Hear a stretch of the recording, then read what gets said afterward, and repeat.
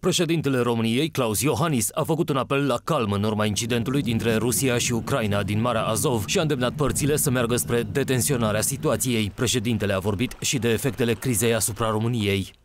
În acest moment urmărim în continuare ce se întâmplă și vom fi pregătiți să reacționăm proporțional.